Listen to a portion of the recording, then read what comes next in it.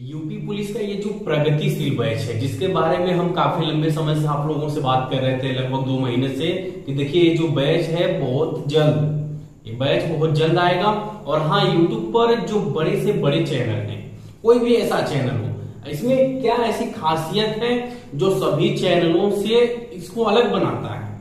यह बैच आप देखेंगे कि हर बड़े से बड़े चैनल से अलग निखर करके आने वाला है, और सबसे बड़ी चीज़ देखिए इसमें क्या है कि काफ़ी ऐसी चीज़ें हैं जो आपको समय समय पर देखने को मिलेंगी, जिसे आप अभी तक नहीं देखे होंगे। देखिए, क्या है कि अब तक मुझे लगता है आपको अंकित भाटी सर हो या करियर विल या एग्ज़ाम लगभग हर चैनल से हो सकता है।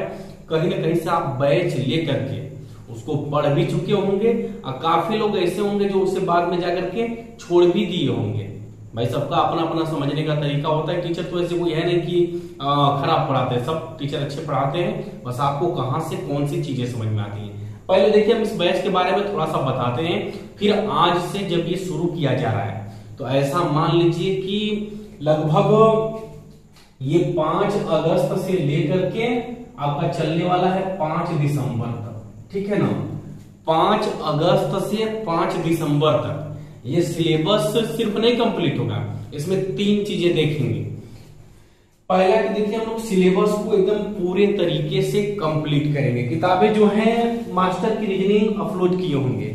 और ये जो आपकी है, जो बोलते हैं, इस बुक को आप देखिएगा, ध्यान दीजिएगा। ये जो आपकी यूनिवर्सल की राजपाल की हिंदी है, हम बार बार क्यों कह रहे हैं कि अगर आप पुलिस की तैयारी कर रहे हैं तो इस बुक को ही पढ़िए। ऐसा रीजन क्या है? देखिए, आप यूथ पब्लिकेशन ले लीजिए आदित्य की जो है हिंदी, जिसमें बहुत सारी गलतियाँ आती हैं। उसके बाद परीक्षा वाली है। तमाम ऐसी बुकें हैं, सबका अध्ययन एकदम गहन मतलब एकदम बहुत गहनता से करने के बाद लास्ट में जब ये बुक हम उठाए तो ऐसा इसमें है ना, जानते हैं, अगर आप इस बुक को पढ़ लेते हैं तो नालंदा को छोड़ दिया जाए तो ऐसी मार्केट की हर एक बुक इसके अंदर समाहित, या तक उनसे कहीं बेहतर ये है इसमें गलती आपको मिलेगी ही नहीं। पहली चीज़, गलती मिलने की कोई संभावना नहीं है। दूसरी चीज़, अगर आप इस बुक को पढ़ लेते हैं तो यकीन मानिए एकदम आराम से आप सैतीस में बत्तीस, तैतीस नॉर्मल तरीके से लाएँगे, और वो तो एक मेरे पास तरीका है। समझिए। ये जो प्रगतिशील बैच है, इसको दो भागों में डिवाइड किए हैं। एक प्रगतिशील बैच भाग वन है, और दूसरा भाग दो है। हम किसकी बात कर रहे हैं? यूपी पुलिस की है, जो वैकेंसी 2022 में, अभी आने वाली है चालीस हज़ार के आसपास। इसकी बात कर रहे हैं। इसमें है क्या? ये जो भाग वन है, इसमें हिंदी और रीजनिंग। हिंदी और रीजनिंग को मिला करके टोटल नंबर कितने होते हैं? पचासी नंबर एक सौ पचासी। हिंदी और रीजनिंग के प्रश्नों को जो ये पुलिस में आने वाले हैं, इनको मिला दिया जाए तो ओवरऑल एक सौ पचासी नंबर आते हैं। पहला हम लोगों का जो टारगेट है हम सब सबसे पहले कोशिश करेंगे काट पीट कर। मतलब कि इसमें गलतियाँ करने के बाद लास्ट में हमारे पास कितना नंबर होना चाहिए? 150 नंबर अब काफ़ी लोग देखेंगे तो उन्हें लगेगा कि अरे यार, एक में 150 लाना बहुत आसान है। ये तो मतलब 35 जो है 35 का अंतर है, ये तो हम ला लेंगे। जब आप पेपर में बैठेंगे ना जब गलतियाँ होती हैं, प्रश्न भी घटते हैं और प्लस दूसरे प्रश्न का नंबर लेकर के जाता है। वहाँ चीज़ें अपने आप बदल जाती हैं। अगर आप पाँच भी गलती कर गए तो पाँच हो जाएँगे प्लस एक आध दो प्रश्न अलग से ले जाएँगे। तो ये वन बाई फोर होता है इस परिणाम में। One by four point two five का होता है, ठीक है ना?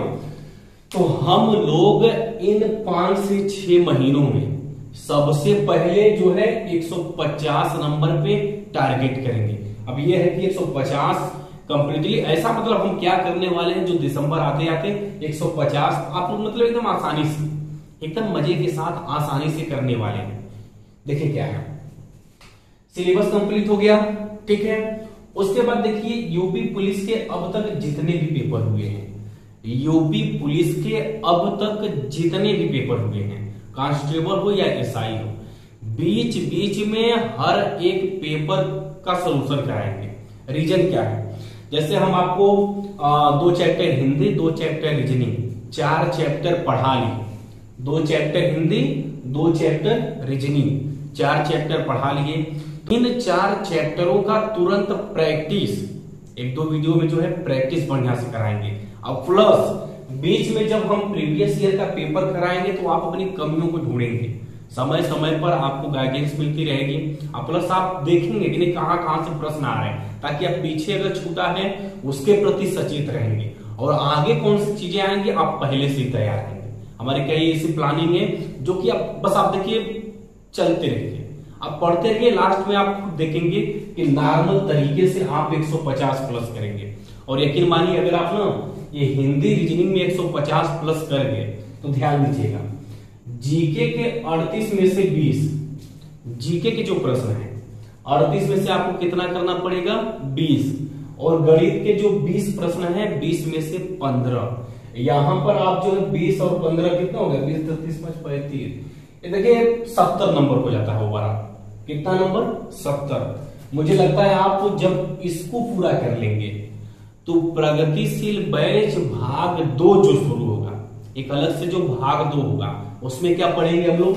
अड़तीस प्रश्न जो जीके के हैं, उन्हें पढ़ेंगे। और प्लस ये गणित के जो बीस प्रश्न हैं, इनको कंप्लीट करेंगे। यानी कि गणित का पूरा सिलेबस चलेगा।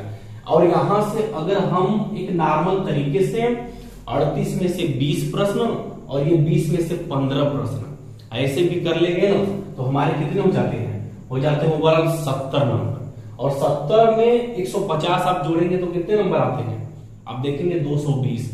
220 एक ऐसा नंबर है कि जो general S C S T OBC सबको एकदम सिलेक्शन से काफ़ी आगे रख देता है। क्योंकि जनरल की मेरिट देखिए 210 से ऊपर कभी नहीं जाएगी। ये जो चालीस हज़ार वाली वैकेंसी है, आज हम आपको लिख के दे रहे हैं कि 210 से एक नंबर ज़्यादा कभी भी नहीं आ सकती मेरिट जब भी जाएगी, एक सौ नब्बे, पंचानवे, दो सौ पाँच, दो सौ आठ 100 मतलब 210 के तो हर हाल में नीचे रहेंगे। ऊपर जाने की कोई चांस नहीं है। अब आप लोग देखेंगे 220 हो सकता है भाई आप 20 की बजाय यहाँ 17 प्रश्न करें। तो तीन दुना के छह नंबर घट जाएगा, तब भी 214 नंबर आएगा। मतलब एक नॉर्मल तरीके से, जैसे होता है देखिए यूट्यूब पर पढ़ाते सब लोग हैं।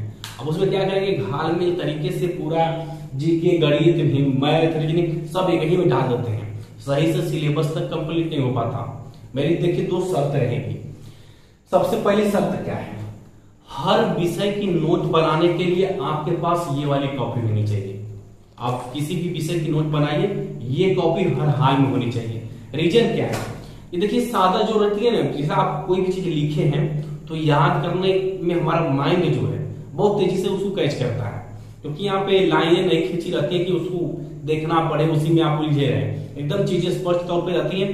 तो ये आपको एग्ज़ाम तक मदद करने वाली है नोटबुक अगर आप नोट बनाएँगे एग्ज़ाम में बहुत मज़ा आएगा। लास्ट का जो 20 दिन होता है ना, तब तब सब लोग पढ़ते रहते हैं, सबको लगता है निकाल लेंगे। सब सोचते हैं कि हमारा सिलेक्शन हो जाएगा।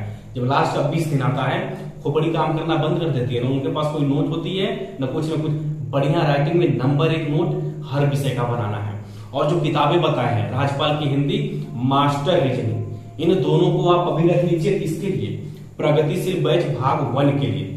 अब देखिए, हम YouTube पर पढ़ा रहे हैं, भले आपसे दूर हैं, मगर अगर आप नौकरी करना चाहते हैं, हमारी एक एक शर्तों पर आपको चलना होगा। जैसे जैसे हम कहेंगे, अगर आप करते हैं तो ये जो हिंदी और रीजनिंग देख रहे हैं ना, ये जो 150 नंबर है, आप सिर्फ़ यूपी पुलिस में 150 नहीं करेंगे, क्योंकि मास्टर की रीजनिंग और ये यूनिवर्सल हिंदी, अगर कोई भी बंदा इस बुक को कंप्लीट कर लिया, दो बार कम से कम। दो बार बहुत अच्छे से कंप्लीट कर दिया। है कि देखिए हम जो कहें कि चार चैप्टर का प्रैक्टिस कराएँगे, वहाँ पर दोनों विषयों से सत्तर प्रश्न लेकर के आएँगे। हिंदी और रीजनिंग के दो दो चैप्टर जब चार चैप्टर खत्म होंगे, तुरंत सत्तर प्रश्नों का जो है एक प्रैक्टिस सेट होगा, जिसमें आपको हर हाल में कितना करना पड़ेगा? साठ प्लस अगर आप पीछे पढ़े गए दो दो चैप्टर से, प्रश्न भी इन्हीं दोनों बुकों से रहेंगे। मास्टर की रीजनिंग से 35 प्रश्न रहेंगे और ये यूनिवर्सल हिंदी से 35 प्रश्न रहेंगे।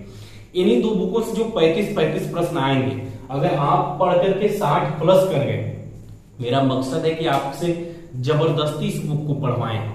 जब दो चैप्टर रीजनिंग पढ़ाएँगे, तुरंत उसकी प्रैक्टिस कराएँगे।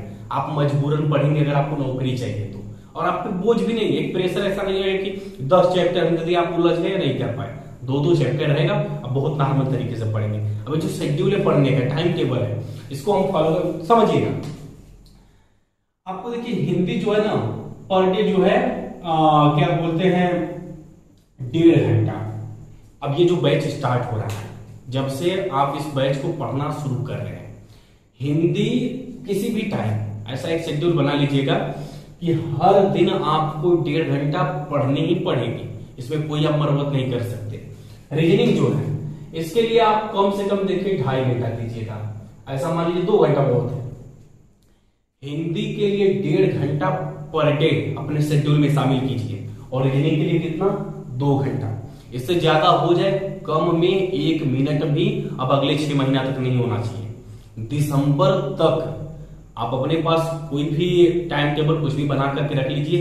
एक एक दिन अगर आप जान लीजिए ये काम करते चले गए तब जाकर के आप लाखों स्टूडेंट से काफ़ी अलग होंगे। तो मुझे लगता है आप मेरी बात को समझ चुके होंगे, अब ये बैच शुरू हो चुका है। और बहुत मज़ा आने वाला है, क्योंकि हम लोग जब प्रीवियस ईयर के पेपर लगाएँगे, ये बीच में प्रैक्टिस चलेगी और सिलेबस कंप्लीट होगा। ऐसे कोई भी टॉपिक नहीं है ऐसा कोई भी चीज़ नहीं है जिसे हम छोड़ने वाले हैं। और यही चीज़ें जो है ना, आपको जल्दी कहीं नहीं मिलेंगी। एक ढर्रा बना मतलब पैसा आ रहा है पेमेंट कर रहे हैं, पढ़ रहे हैं। अभी तक तो लेखपाल में मुझे नहीं लगता किसी यूट्यूब चैनल से पाँच प्रश्न भी सही से फंसे होंगे। एक आपका बेसिक अनुभव रहा होगा, दूसरा चीज़ जो है, आप बुकों को कंप्लीट किए होंगे।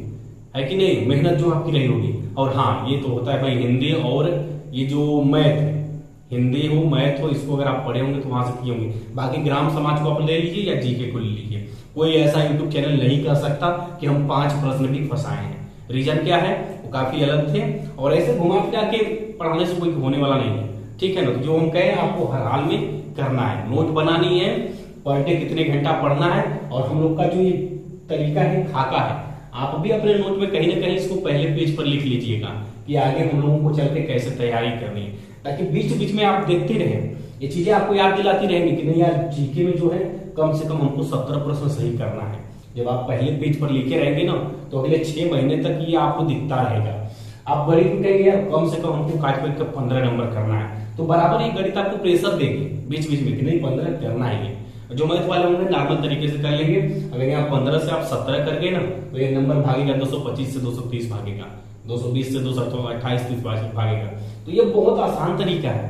बस आप पढ़ते रहे तो आप ये वाली जो वीडियो है, ये जो पहली वीडियो है हम आपसे आशा करेंगे कि आप इसको अधिक से अधिक शेयर करेंगे। तमाम मतलब कि व्हाट्सएप या जो भी तमाम तरीके से आप इस पहले वीडियो को शेयर कर दीजिएगा।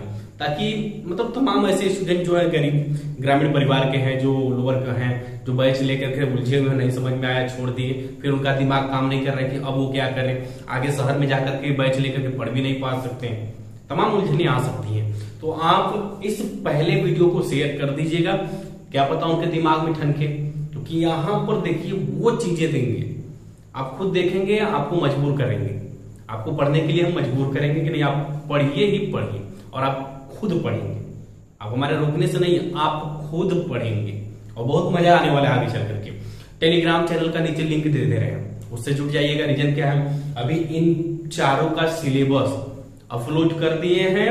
बाई चांस आपको पता ना हो तो आप जाकर के वहाँ से देख सकते हैं कि आखिर हम जब नोट बनाएँगे तो सिलेबस कैसे चलने वाला है। आप सिलेबस को लिख लीजिएगा टेलीग्राम से जाकर के।